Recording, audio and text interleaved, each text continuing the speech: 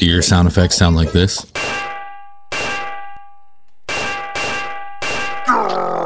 When they could sound like this? Unless you have the killer platformer or you're going for that old school vibe, you should always be using dynamic sounds in your game.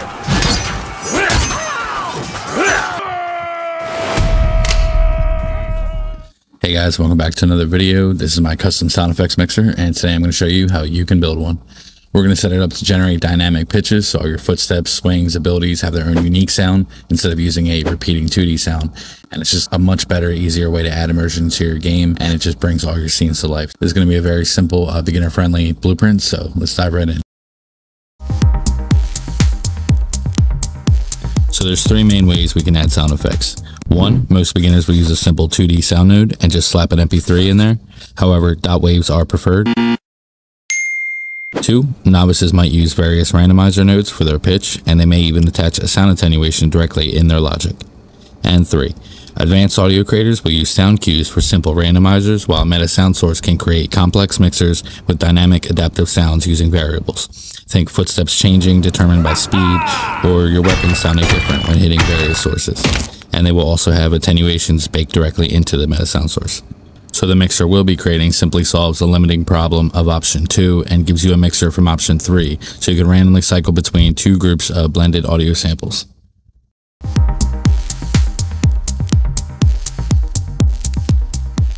Feel free to pause here or screenshot if you'd like to reference this later. Unreal does expect dot waves for most audio in your game, especially with sound cues and effects, though MP3s can be streamed at runtime. You can use 8, 16, and 24-bit PCM dot waves. However, 24-bit will usually be compressed down at runtime and 32 can be imported as well, but will be converted down to 16-bit for performance. 8 to 192 Hz are supported with 44.1 or 48 Hz as a standard for game audio. Higher rates over 92 will be resampled down as well. Best practice is to use 16-bit PCM dot with 44.1 or 48 Hz audio files. Now that we know the basic structure for our sounds, let's build our mixer.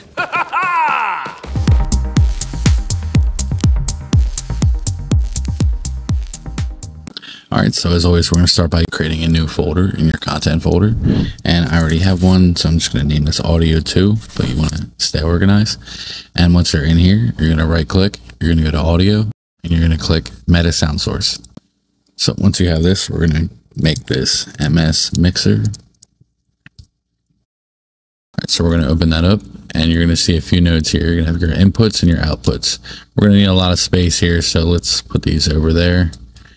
And we're going to start with our input and we're going to start by making a couple trigger counters and selects. We're going to take a regular trigger counter here. And then on trigger, we're going to go trigger select and you want two. So this one down here. We're going to go count to index. And once you have that, we're going to create a random bool from our out zero and from our out one, we're going to go up here and you'll see why in a little bit. We're going to do a random float. Okay, so this is just to keep um, the shape of this graph as it's going to get a little crazy soon. So from uh, on next, we're going to go trigger select two once again, or we could have just duplicated the other one. And now we're going to connect the float down to here and the index is actually going to go to your random bool. And that's going to create this node in the middle here to connect them. And by default, the seed is perfectly at negative one. And basically that gives it a random true or false value to the Boolean. Um, if this was a positive number, it would actually be a set pattern that um, this would play in, but because it's negative one, it's actually a random value.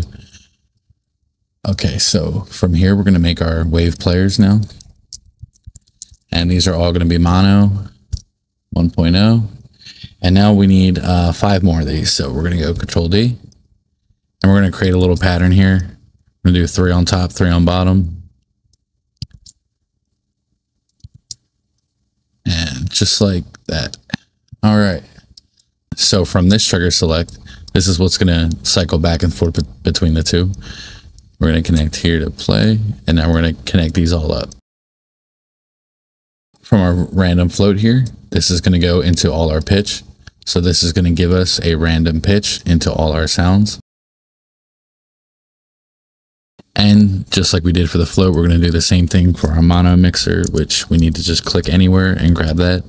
We're going to grab six since we have six wave players. And from here, we're going to take your first input into alt mono. And you want to try to keep these in order. Um, that way you know which one you're changing the volume to.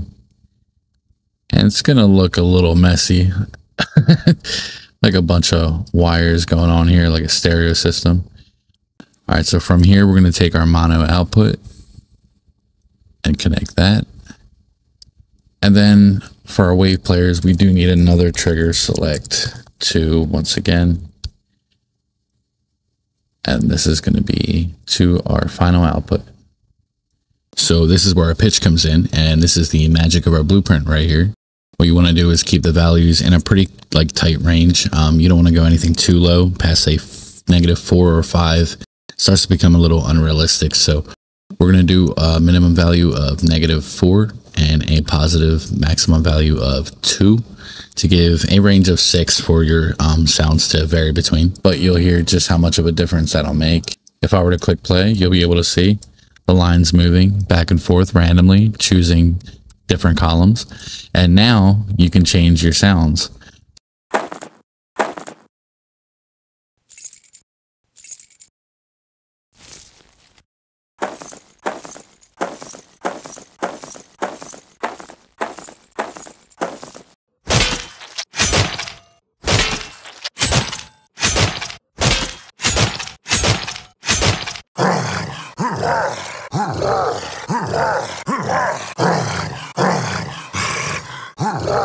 This is on take damage for my spiders.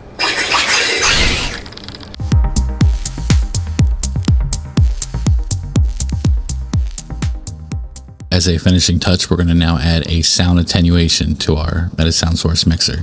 So if you go all the way down on your details panel, you'll see this box right here where you can add one in. And basically what this does is it defines um, like a range that the sound can be heard and controls how a sound um, behaves in like a 3D space. All right, so we're gonna go back to our audio folder and you're gonna right click, go back to audio, but this time we're gonna do a sound attenuation. Just name that SA test. And we're gonna double click that. And most of these settings are just gonna leave the same. Um, we're just gonna drop the inner radius a little tighter to 100 and our fall off to 2000. And if you wanted to get into a little more advanced settings, you could enable listener focus and that'll make your sounds fade off in the distance. Um, if you're using footsteps, for example, you could have it so you hear them from a certain range. And with that, you could also go to your character blueprint here, find your event begin play, mine's right here, and you would need your player controller from input device, and you could actually do this neat trick and go set audio listener override. And if you put this to your mesh now, anything that your mesh is looking at, so your character, yeah, this will be where your 3D sounds will be heard from. Um, another trick is to use your follow camera. So when you turn the camera, those you'll hear the sounds from the direction that you're facing. And with that, we can go back to our mixer now. You're going to scroll back down, go to attenuation, and you can add yours right here. You can save that and you're all set. All right, so that concludes our setup. What you can do now is basically make folders for all your characters, hit reacts, weapons, um, and just have a whole library here. And every time you need to make a new sound effects, you can just go back to your mixer, duplicate this, and you're good to go. You can uh, start making your own custom sounds. Also remember that your mono mixer right here is your volumes, so you can edit these up and down to uh, balance your sounds. It's just a lot of fun to play with. So if you even wanted to, you could actually create two more of these into this mixer, it maxes out at eight.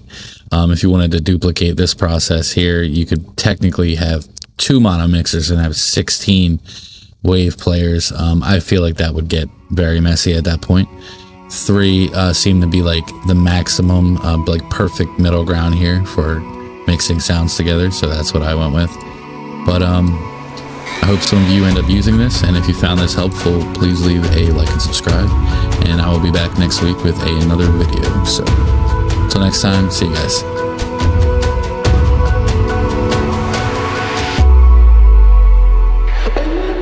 Yeah.